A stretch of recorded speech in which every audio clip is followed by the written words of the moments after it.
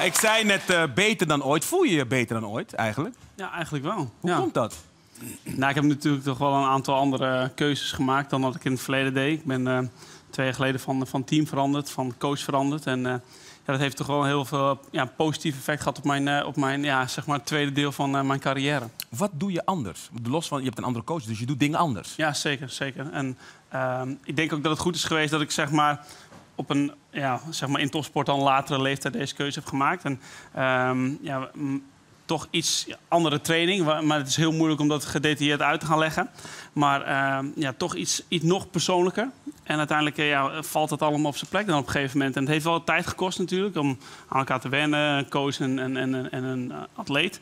Maar op een gegeven moment eh, ja, gaat, het, gaat dat balletje rollen en dan rolt het de goede kant op. Maar als jij zegt nog persoonlijker, bedoel je dan dat schema's nog preciezer op jou zijn afgestemd? Ja, Of ja. bedoel je meer contact ook? Nee, nee, nee, nee, nee. Niet, niet, niet, zozeer, niet zozeer contact, maar gewoon echt op, op, op mijn lijf geschreven. Maar is het ook zo dat naarmate je ouder wordt, je zelf ook slimmere keuzes maakt? Omdat je gewoon beter weet wat je wel en wat je niet wil? Ook dat, ook dat. Maar daarbij komt ook, je wordt ouder, dus je wordt, je wordt mentaal ook sterker. Weet je. je krijgt meer bagage, dus je krijgt meer ervaring. En eh, op ervaring kun je gewoon kun je veel doen.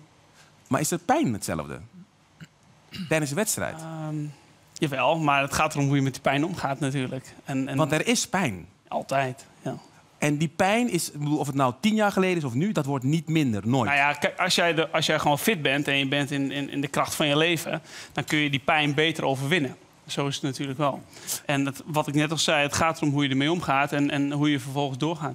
Laten we kijken naar de WK afstanden, 10 kilometer, prachtige rit, de laatste ronde. En dan, kijk, voor ons ziet het eruit van buiten. Wij voelen natuurlijk helemaal niet wat jij voelt. Jij rijdt gewoon, je schaats en dan ga je. Laat maar zien hoor. En dan lijkt het gewoon, je werkt niet, het gaat soepel, je glijdt. Nee, maar dit, dit is echt een hel. Beschrijf die hel. Ja, maar hier schreeuw, schreeuw je been om zuurstof. Je zit natuurlijk al eh, 24 ronden in, in, eh, in het zuur. En eh, ja, je wil me, ik rij hier nog 30-2, waar je eigenlijk nog 29 wil rijden. Maar ja, dat, gaat gewoon domweg niet meer. Dus ja, er is nog ruimte voor verbetering. Maar ja, als je zo ziet, dan, ja, dan zit er, dit was gewoon maximaal op dat moment. En ja, vandaar die handen op de knie al en dan dat je uiteindelijk ga je...